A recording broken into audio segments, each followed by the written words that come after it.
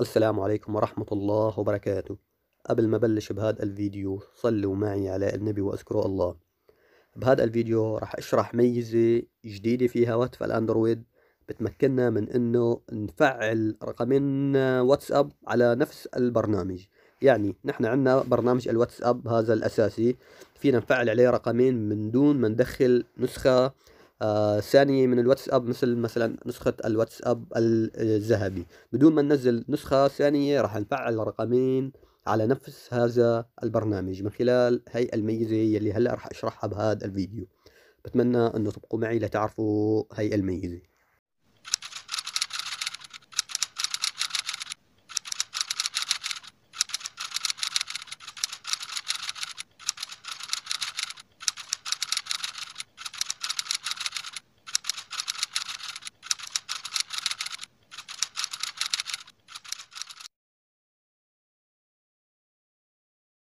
السلام عليكم ورحمة الله وبركاته. مرحبا فيكم من جديد.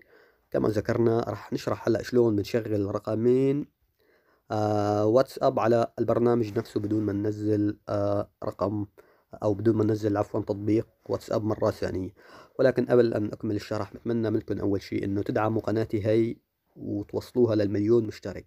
نعم أنا هدفي هلا هو الوصول بهي القناة إلى المليون مشترك. لهيك أخي بتمنى إنك تكون أنت من بين الأشخاص يلي ساعدوني للوصول إلى المليون مشترك. طبعا الميزة يلي ذكرناها هي على الشكل التالي. بكل بساطة رح نتوجه إلى ضبط الهاتف. رح ندخل إلى الضبط. رح ننزل للأسفل ونبحث عن هذا الخيار اسمه الميزات المتقدمة. هذا الخيار رح ندخل إليه. رح ننزل إلى الأسفل رح نبحث عن خيار اسمه المرسل المزدوج. هذا الخيار رح نضغط عليه. طبعا عندنا هون هيئة تطبيقات فينا نفعل عليها كلياتها حساب آخر. فعنا الواتساب رح نضغط عليه ضغطة رح نضغط تثبيت رح نضغط يعني على تأكيد. طبعا رح نضغط على التالي. رح نضغط على نعم بعدها طبعا مثل ما ملاحظين جاري تشغيل المرسل المزدوج يعني راح يتيح لنا هلا نستخدم رقمين من الواتساب. طيب الآن انتهينا. راح نخرج. طبعا راح نذهب إلى التطبيقات إلى النهاية. مثل ما ملاحظين أصبح عندنا آه، نسختين واتساب.